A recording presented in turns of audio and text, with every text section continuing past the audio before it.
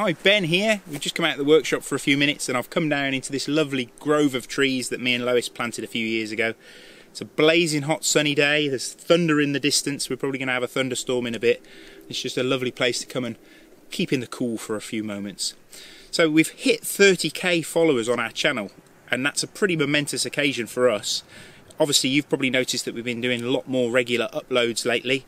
We've been trying to incorporate the knife making, some of our green woodworking projects, some of our adventures around the British Isles as well, and hope you've been, been enjoying watching them as much as we have been making them for you.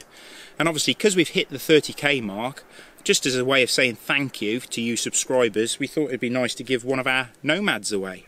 So this is one of our natural canvas nomads. This has got a black backspacer and one of our classic O1 tool steel blades. I've made a really nice OD green Kydex neck sheath for it and Lois has made a really nice uh, Orford tan leather belt sheath for it as well so you've got both sheath options and just as a way of saying thank you really for all the support that you've been giving us on the channel. So if you'd like the opportunity to win this Nomad, there's a few little things that we'd like you to do. Obviously we want you to subscribe to our YouTube channel if you're not already subscribed. We'd like you to follow us on Instagram, so I am Craftlab Knives and Lois is Craftlab Leather.